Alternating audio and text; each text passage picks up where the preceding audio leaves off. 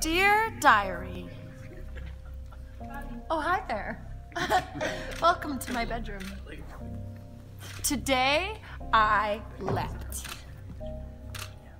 into Aleks Paunovic. I was hoping you'd be there.